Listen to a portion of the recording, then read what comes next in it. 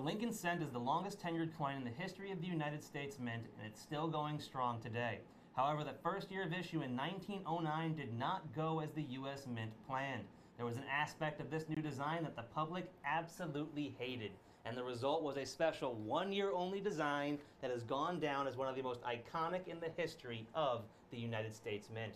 This is the 1909 Lincoln Cent with the Victor David Brenner initials on the back by the wheat stalks in NGC certified MS65 red brown condition. I mean, look how stunning this is. You could see the, the, initials with the naked eye at the bottom of the coin, VDB across the bottom, under those wheat ears right, in, wheat ears right in the center. Those are the designer's initials. We caused a huge uproar in the public. They were forced to remove it because they say you're not supposed to put your initials on a coin. Here is a great graphic. Now this shows you where to look and what the initials look like. You could see it very clearly on the uh, feed we just showed you, but this is a graphic that shows you where to look and what they'll look like. That first year, the mintage figure of the VDB version before they changed it over to the corrected version without the designer's initials shows that the VDBs are much rarer. Just under 28 million were made, uh, which sounds like a big number, but to compare that to with the number of corrected 1909s made, you're looking at just about 73 million without the designer's initials. Yes, now you see the reason the designer's initials such a big problem was the public at the time, this is the first time you're ever getting the iconic Lincoln wheat cent.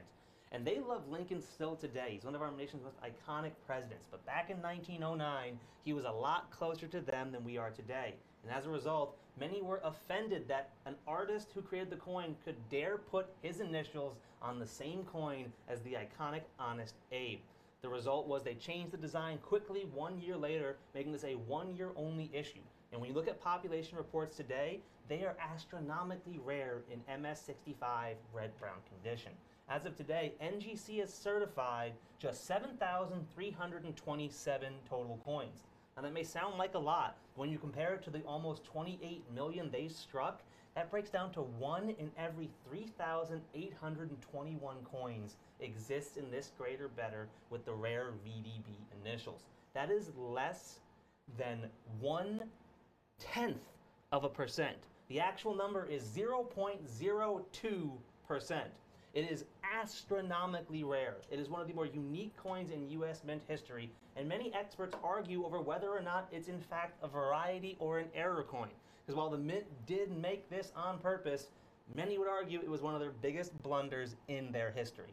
I mean, we think about other quote unquote blunders, the 1883 no cent nickel, uh, maybe the 1913 Type 1 Buffalo, the, the uh, Micro S and the Mercury Dime series, the Bugs Bunny and the Franklins. The godless dollars that we got yes. with the. Uh, there's many across United States history that we can bring up as uh, examples that are similar, but this one is the first year of issue in the Lincoln Cent program, 1909, with the initials. Now you'll notice it's certified as, as a 65 red brown by NGC. Of course, they designate it with the VDB on the label as well. Look how gorgeous that cent is. It is a red brown, which means it's got a lot of red detail in it. Cents, copper cents are graded in color as well as quality and eye appeal. So you have a red brown as well as a Mint State 65. Yeah, to find a Lincoln wheat cent from 1909, from 114 years ago, in NGC 65 red brown is astronomical. When we can find this coin with our competition, they had a heavily tarnished coin that I'm sure met the technical grade of MS65, but let me tell you, you could barely even make out the individual pieces of the wheat stalks on the back. But they still wanted $175 for that coin we are significantly less at just $139.95. And all of our coins are certified by NGC to be in stunning MS65 condition for $35 less than our nearest competitors. You want to know a kicker about the whole VDB fiasco? What many collectors didn't know is the US Mint actually snuck his initials back into the coin right, many years later. Yeah. In fact, it was about nine years later in 1918 they snuck the VDB initials up onto the obverse shoulder of Honest Abe. So despite all of the fanfare around having those initials, the Mint still thought it was a good idea to put them back. Back.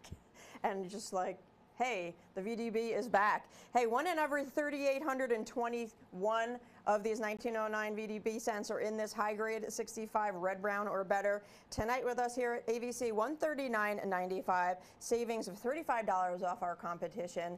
It's all about the VDB, the first year of issue, one of the coins that created such a stir uh, in the public. So join us, folks. Grab yours. 905-10278 is the item number. Again, that website just popped up. It's avccoins.com. Anytime the phones are busy or are on hold, or hey, you want to shop 24/7 outside of the show, we want you here with us.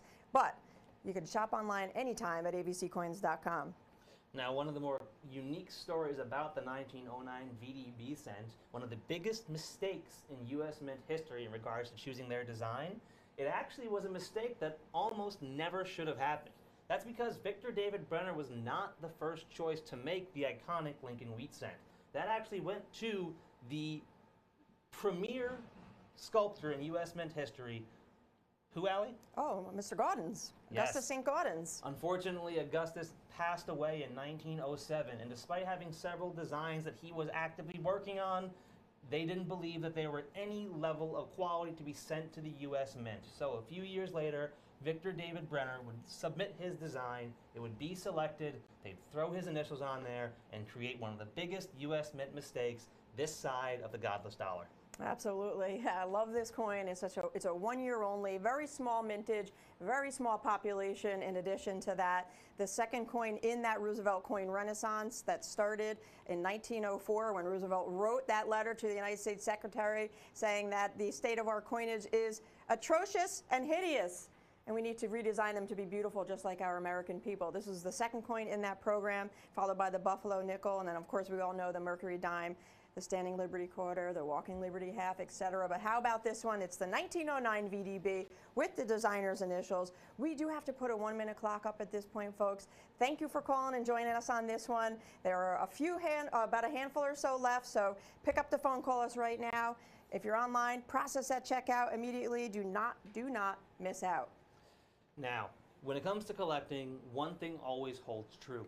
First and last always are premium coins in any series. And when you're talking about the longest tenured coin series in the history of the United States Mint, the Lincoln Cent, it's hard to go wrong with this first year of issue, one year only of issue with this rare design because they corrected it that same year. The 1909 VDB cent that started it all over 114 years of Lincoln cent history was kicked off with this one coin, and we are more than $35 less than our nearest competition for a stunning MS65 red brown grade issue. When was the last time you've ever even seen a cherry red cent in your pocket change? Since they took copper out of them, I know it hasn't been a long time.